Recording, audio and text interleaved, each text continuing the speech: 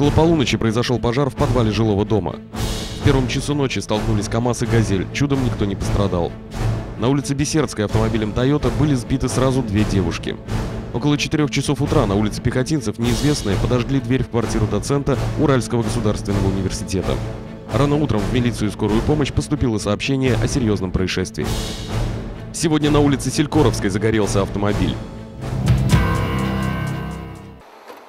В 23 часа 30 минут всем жителям первого подъезда дома номер 14 по улице Верещагина пришлось срочно эвакуироваться из своих квартир.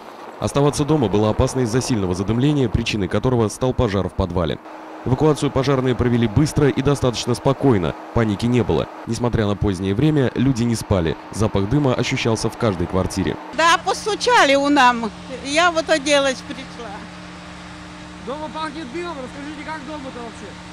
Дома-то, так и что, такого большого-то еще нету такого, еще не... В квартире стоит дым. Дым, да, это... Огонь вспыхнул в подвале. Здесь находятся так называемые лари, в которых жильцы дома хранят различные вещи. Именно они и воспламенились поздним вечером. Пожарные заливали огонь в подвале около часа. Все это время люди находились на улице. Существует как минимум две версии о причине возгорания. Электропроводка была, висела, знаете, вот так вот. Дом управления сообщали о том, что необходимо сделать ремонт в подвале. Никто внимания не обращает. Видимо, замкнуло что-то. Мужчины думают иначе. Они подозревают поджог, рассказывая, что днем хозяйственные лари были взломаны. Поломали зам- замки все. Вот, мы ходили, проверяли сегодня днем. Все было нормально вроде. Я в 7 часов заходил, тоже все, никаких, ничего, никого не было. А потом уже вот разбудили звонком, что вот уже что-то горит. У одного из жителей похитили несколько метров алюминиевой трубки. Он считает, что злоумышленники захотели скрыть масштабы воровства, а потому решились на поджог. Так ли это, определит дознание. В первом часу ночи техническая неисправность грузового автомобиля спровоцировала дорожно-транспортное происшествие, в котором только чудом никто не пострадал. Столкновение «Газели» и КАМАЗа случилось на светофоре в районе перекрестка улиц Шевской и Войкова. Перед светофором встала машина, и я резко тормознул. Вот, меня заблокировала, она заглохла, рулевой потерял. Машину понесло, она в бровку ударилась и развернула, прижала газель. Смотрим КАМАЗ, у него колеса, колеса юзом стали, его вот так вот боком начало поворачивать и на нас прямо навстречу он как, и на нас потащило. А нам что, деваться некуда, тут дорога узкая. И вот, ну мы уже поняли, что он в нас врежется как. КАМАЗ, потеряв управление, становится смертельно опасен для того, кто окажется на его пути. Потому людям, находившимся в кабине «Газели», просто повезло. Удар кузовом камского грузовика пришелся вскользь. Выбраться из разбитой машины водителю и пассажиру микроавтобуса удалось только через окно. Любопытно, что неделю назад «Газель» была заново покрашена, и с тех пор у владельцев машины начались неприятности. Буквально три дня назад в нее влетела легковая иномарка, а прошедшей ночью уже КАМАЗ. В 15 минут второго на улице Беседской автомобилем Toyota были сбиты сразу две девушки. По словам водителя иномарки, они стояли прямо на дороге, вероятно, в надежде поймать такси.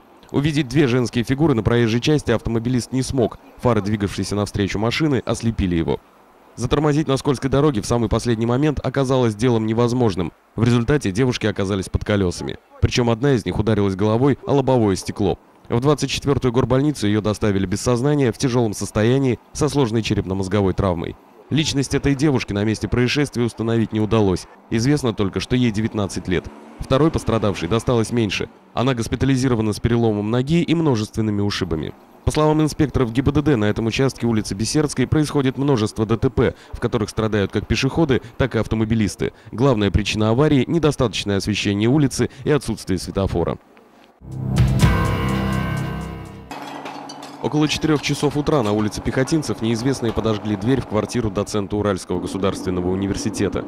Причем все экстренные службы, выезжая на место происшествия, считали, что отправляются ликвидировать последствия взрыва газа. К дому номер 10 оперативно выехали милиция, скорая помощь и четыре экипажа пожарной охраны под руководством оперативного дежурного УГПС по Екатеринбургу и Свердловской области. Дело в том, что поджог сопровождался достаточно громким хлопком и чувствовался запах газа. Проснувшиеся хозяева квартиры увидели языки пламени на собственной входной двери.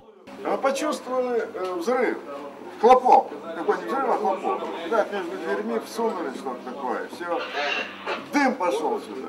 Я открываю дверь, пламя. Я быстрее закрывал, давай поливал, поливал, поливал, поливал. Вызвал.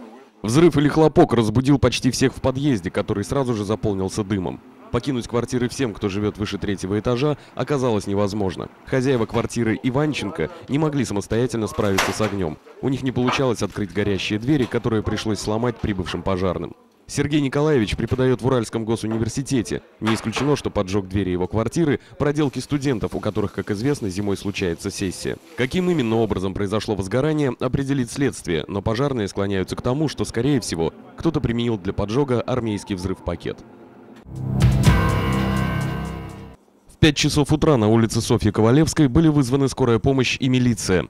Некто сообщил, что в оздоровительном центре, который расположен в шестом доме по этой улице, находится тяжело раненый ножом человек. Оперативно прибыв по вызову, врачи с милиционерами застали на месте происшествия пьяного хулигана. Он представился Сергеем Наилевичем Ганихиным, директором коммерческой структуры, название которой отказался сообщить. В три часа ночи он решил расслабиться в бане с товарищем. Спустя два часа, будучи нетрезвым, он отказался платить по счету, ссылаясь на отсутствие средств. Охрана предложила Ганихину оставить что-нибудь в залог, а счет оплатить позже. В ответ Сергей Наилевич стал звонить по всем известным ему телефонным номерам и сообщать о серьезном происшествии на Ковалевской 6. Экстренные службы обязаны отрабатывать все вызовы, даже ложные, как произошло в этом случае. Удивительно, но пьяный телефонный хулиган не испытывал ни малейших угрызений совести. Мало того, утверждал, что его насильно лишали свободы, грубил и сквернословил. Он угрожал охранникам и милиционерам, обещая всех поставить на место. В итоге Ганихин оказался за решеткой Кировского РОВД, откуда его припроводят в медвотрезвитель.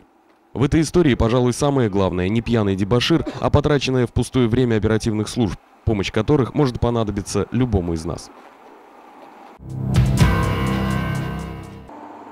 Автомобиль является источником повышенной опасности, особенно если это автомобиль отечественного производителя. Высокая цена, увы, не гарантирует качества и надежности. Сегодня на улице Селькоровской около 5 часов вечера в результате замыкания электропроводки загорелся ВАЗ-2106. В салоне находилось три человека. Во время движения автомобиля неожиданно раздался хлопок, после этого из-под капота вырвалось пламя. Николай Третьяков вместе с приятелями выскочили из машины, схватили огнетушитель и попытались справиться с огнем. Их усилия оказались тщетными, несмотря на помощь находившихся рядом людей. Вспышка под капотом, пламя сразу же. Выскочили, попытались потушить, вызвали пожарную. Что, не успели ничего.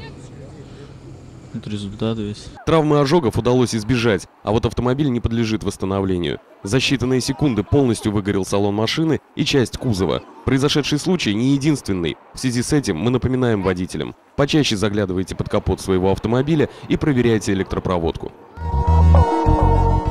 За минувшие сутки на территории области зарегистрировано 254 преступления, раскрыто 160. Зафиксировано 3 убийства. Сотрудниками милиции задержано 6 преступников, находившихся в розыске.